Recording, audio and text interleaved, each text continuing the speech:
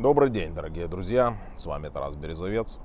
Сегодня у нас 11 мая 2022 года. Сегодня поговорим о главной новости минувших суток о том, что в России начали массово уходить в отставку губернаторы. Сразу пять отставок было проанонсировано. И, как утверждают кремлевские источники, это далеко не конец. Такое себе губернатора пад, очевидно, продлится и дальше. В Кремле все объясняют тем, что это все, дескать, все плановое и меняем неэффективных на эффективных. Но есть и другие версии, которые выдвигают эксперты и СМИ, в частности, о том, что сами губернаторы бегут, потому что боятся введенных против них западных санкций. А путинский карточный домик власти начинает потихоньку рассыпаться на глазах.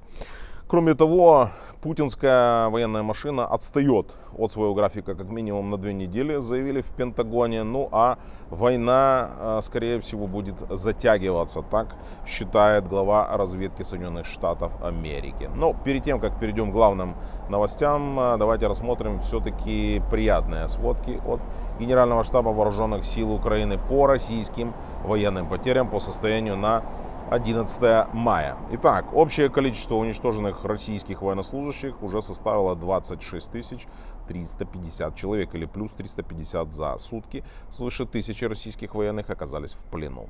Уничтожено 199 самолетов, 160 вертолетов или плюс 2 за минувшие сутки.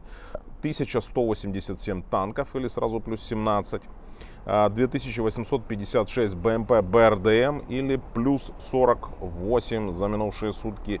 528 артиллерийских систем или плюс 9 за сутки, 87 средств ПВО, 185 систем реактивного залпового огня, 1997 различного типа колесной техники или плюс 17 за сутки, 12 кораблей и катеров и 390 оперативных БПЛА или сразу плюс 10 за минувшие э, сутки. Ну давайте сейчас рассмотрим новости которые касаются сроков окончания войны. Они, безусловно, интересуют всех, они волнуют всех, в первую очередь, э, самих украинцев. Итак, разведывательное сообщество США, которое объединяет, напомню, около 40 различного рода спецслужб, считает, что война в Украине затягивается, причем э, э, она будет переживать несколько периодов эскалации в самое ближайшее время. Об этом, выступая в Конгрессе на слушаниях, заявила директор национальной разведки Соединенных Штатов Америки Аврил Хейнс. Об этом сообщает американский телеканал CNN. Она выступала во вторник перед Сенатским комитетом по вооруженным силам и обрисовала достаточно мрачную и неясную картину, а, которая будет касаться следующего этапа этой войны в Украине.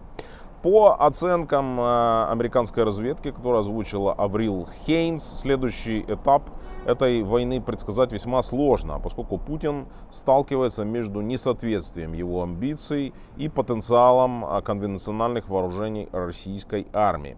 Ситуация на местах, добавила Аврил Хейнс, может повысить вероятность того, что президент Путин пойдет на более решительные и жесткие меры, включая введение военного положения в России, переориентацию промышленного производства или даже потенциальную эскалацию военных действий.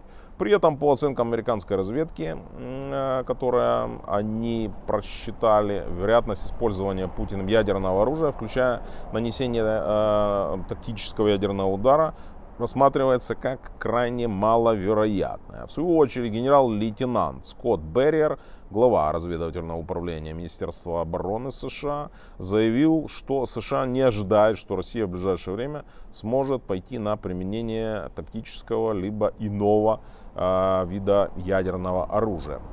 Также в своих оценках глава американской разведки Аврил Хейнс заявила, что Путин, э, естественно, мыслит категориями, которые распространяются далеко за пределы Донбасса. И несмотря на то, что основная часть боевых действий сейчас ведется на юге и на востоке Украины, Путин в ближайшей перспективе, помимо того, что он хочет полностью взять под контроль весь Донбасс, то есть территорию Луганской и Донецкой областей, а также хочет расширить свою экспансию на юге, потенциально добиваясь а, пробивания коридора в непризнанное Приднестровье на территории Молдовы. Однако а, для того, чтобы идея с вот этим захватом, прорубанием этого коридора на Приднестровье в конечном итоге была реализована, Путину точно придется проводить либо частичную, либо полную мобилизацию, считают в американской разведке. А, кроме того, а, Палата представителей Конгресса США уже приняла решение в ответ на обращение американского президента выделить Украине дополнительно 40 миллиардов долларов на военную помощь. Ну, ну скажем так, неплохо, да, мягко говоря. Далее, Пентагон обнародовал еще один свой прогноз, в котором сообщил о том, что военные планы Путина, которые были разработаны Генштабом, отстают от графика как минимум на полмесяца. И это отставание началось фактически с первых дней э, вторжения 24 февраля. Об этом э, было заявлено на закрытом брифинге в Пентагоне для американских журналистов. Фамилия этого чиновника не называется, но тем не менее дается здесь его прямая речь о том, что Путин продолжает наращивать силы и нести все больше и больше потери. При этом э, возможности российской армии в ведении боевых действий уменьшаются постоянно. Э, в первую очередь это касается уменьшившейся возможностей российских вооруженных сил в артиллерийских дуэлях. Ну понятно, что после получения новейших систем западного образца, немецких в первую очередь, американских, британских, э, Путин не смог добиться ни одной из своих ключевых целей. И даже взятие Мариуполя полностью под свой контроль к 9 мая так осуществлено и не было, на что обращают внимание в Пентагоне. Он отстает на две недели, заявил это высокопоставленный представитель э, Пентагона на брифинге. А отстает на две недели от того, на каких позициях он хотел э, быть на Донбассе и на юге Украины. И непонятно, каким образом ситуация будет развиваться дальше. У нас нет абсолютной уверенности в дальнейших планах Путина, заявили в американском Министерстве обороны. Но опять же, с учетом скидки на то, что заявляет американская разведка, признаков подготовки к применению ядерного оружия нет. Что касается химического, здесь нет никаких озвученных определенных прогнозов. Э, мы только знаем то, что вероятность применения химического оружия оценивается тоже как достаточно низкая. Тем не менее, мы понимаем, что к применению этого оружия в вооруженных силах Украины как минимум готовятся, поскольку ранее правительство Украины запросило у западных союзников предоставить средства химзащиты. Сделано это было еще в э, середине апреля месяца. Но пока признаков применения ОМП, оружия массового поражения, западной разведки, украинская разведка не фиксируют. Что касается главной новости, это губернатора ПАД, который начался на России. Сразу четыре губернатора ушли в отставку, и пятый заявил о том, что не будет продлять свои полномочия. Значит, речь идет о губернаторах Томской, Саратовской, Кировской областей, а также республики Мари-Эл, которая э, синхронно вчера заявили о сложении губернаторских полномочий. А глава Рязанской области заявил о том, что он не собирается переизбираться на следующий срок. При этом а, выборы во всех этих э, значит, областях э, федеральные запланированы на сентябрь нынешнего месяца. Значит, ну какие версии сейчас выдвигают СМИ в первую очередь? Значит, покинули э, свой пост губернатор Томской области Сергей Жвачкин. А, кроме того, ушел значит, губернатор Кировской области Игорь Васильев, Саратовской области Валерий Радаев, губернатор Республики Мариэл Александр Евстифеев. И вот, значит, э, Рязанской области Николай Любимов заявил, что переизбираться он не будет. Но ну, многие кремлевские инсайдеры, в частности, тоже Леонид Невзлин, связывают это в первую очередь с работой путинского консильери, человека, отвечающего за проведение выборов, Сергея Кириенко. Он же, кстати, назначен, назначен новым куратором так называемых народных республик Донбасса, Донецкой и Луганской областей. Киндер-сюрприз, как его называли, хотя сейчас он выглядит так, что он более напоминает э, персонажа сериала «Бандитский Петербург», по кличке Череп. Помните, был там такой а, подручный у антибиотика, который творил значит, все значит, заказные убийства, диверсии, ликвидировал конкурентов, занимался внутренними чистками. Так вот, Киренко больше сейчас похож на этого самого Черепа, честно говоря, стал. Не знаю, стремился он к этому или это произошло случайно, но факт остается фактом. И вот, значит, этот самый Череп Кириенко, будем его так называть, уже по-новому его погонялу, сейчас занялся тем, что он начал губернаторские чистки. Хотя есть другая версия СМИ о том, что губернаторы на самом деле побежали сами, поскольку не хотят страдать от западных санкций.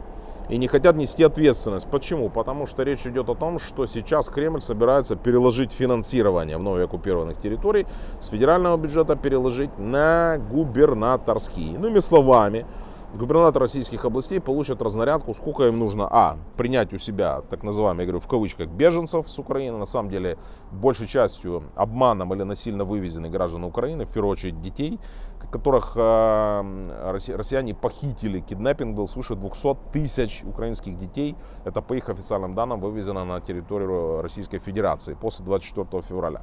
И вот губернаторы сами не хотят нести ответственность, поскольку денег нет прокормить и свои э, свое население, а тут на них еще повесят население ДНР, ЛНР, плюс э, тех украинцев, которых насильно сейчас вывозят в саму Россию. Еще, еще раз повторю, один очень важный мотив – это желание избежать западных санкций, поскольку понятно, что в этой коррумпированной кормушке все эти губернаторы имеют огромные объекты собственности, недвижимости не только в России, но и в Европе. Очень часто они любили покупать, мы знаем, в таких прекрасных экзотических местах, например, как там Италия, французская ривьера, э, Монако, э, во Флориде, в Штатах, в Великобритании и тому подобное. Естественно, естественно, находясь в статусе российских чиновников, они этой собственности могут в значительной мере лишиться. Ну, на первоначальном этапе лишиться доступа к ней, их просто не пустят, а потом ее просто могут, как у Абрамовича, просто тупо конфисковать. И вот,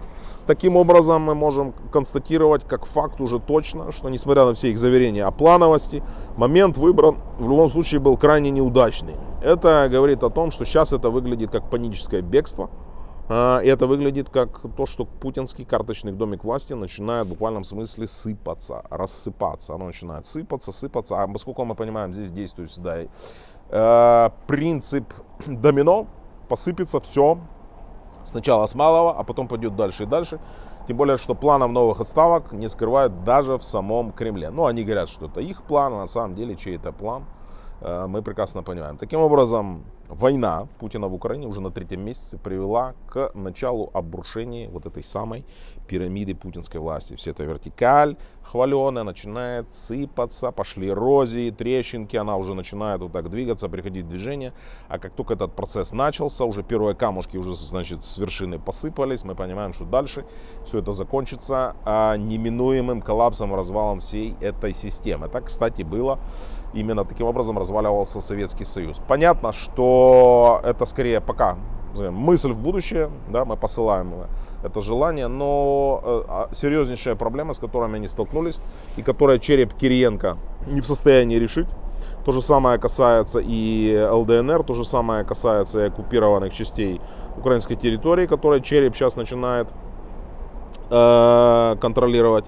То есть невозможность решения всех этих проблем рано или поздно их приведет к осознанию того, что сделать они по большому счету не могут ничего. И никакого нужного эффекта добиться им в конечном итоге не удастся. А с учетом затягивания этой войны, о чем я говорил в начале ролика по оценкам американской разведки, все это будет заканчиваться дальнейшим Э, высасыванием ресурсов, как человеческих, так э, и финансовых, из российских регионов, откуда будут забирать в первую очередь, понятно, не из федерального же бюджета, а у бедных регионалов. Таким образом, бедные российские регионы будут становиться еще беднее, беднее и беднее. Это, согласитесь, только малая плата кармой, которую российское государство и российское население должно заплатить за все преступления Путина, все те страшные военные преступления, которые э, уже произошли и продолжают твориться на нашей украинской земле. Кстати, вот накануне было опубликовано видео, когда э, пытками, электротоком выбивали признание у херсонца в том, что он якобы мародерил, а, забирал значит, там какие-то продукты и вещи у российских солдат. А он оказался, как потом а, выяснили СМИ, вообще кремлеботом, любителем Москвы, любил ездить в Россию, на Красную площадь фотографироваться. Вот так его матушка Россия пришла, отблагодарила. Отблагодарила. Током пытали до такой степени, что у него носом уже пошла кровь. Ну вот, видео появилось во многих СМИ, в том числе на моем телеграм-канале. Заходите, посмотрите по ссылке. Будем наблюдать, друзья, как говорится. Будем наблюдать и ждать. И, как говорится, keep our fingers crossed, да. А, держим наши пальцы перекрещенными, чтобы все так и закончилось. Спасибо за просмотр этого видео, друзья. Обязательно лайкайте.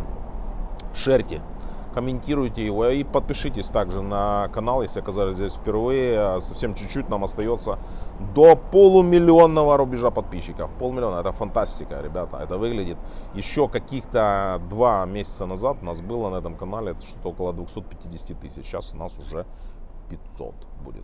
Ускорим процес. Спасибо. Слава Україні, друзі. Слава Збройним силам України. Поменше зрад, побільше перемог. Це буде Україна. З вами був Тарас Березовець. До нових встреч. Пока-пока.